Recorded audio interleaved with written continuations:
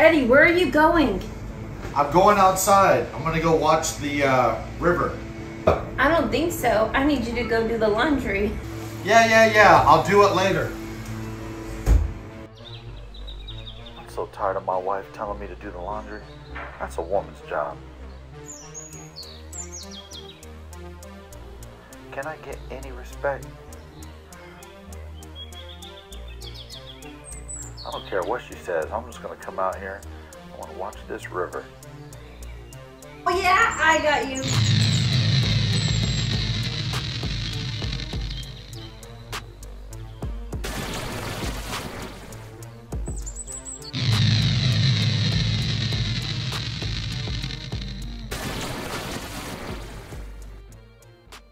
Ugh.